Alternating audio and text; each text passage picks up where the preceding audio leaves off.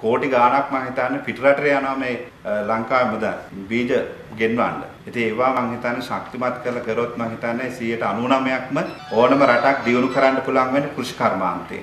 කෘෂි කර්මාන්තය ශක්තිමත්ව නගා සිටුවන්නට යම් වැඩපිළිවෙලක් විශේෂයෙන්ම දක්වනෝනේ ගොඩාක්ම වටිනවා කියන එකත් මේ මොහොතේදී අපි සිහිපත් කරන්නට කැමැතියි. ඉතින් ඒ වගේම නුවරලේ මහරෝහල මේ වෙනකොට තාම විවෘත කරගන්න බැරි වෙලා තියෙනවා. ඒ නිසා මේක ඔබතුමාගේ සුරතින් විවෘත කරගන්න යම් වැඩපිළිවෙලක් කඩිනමින් සිදු කරගන්නවා නම් ගොඩාක්ම වටිනවා.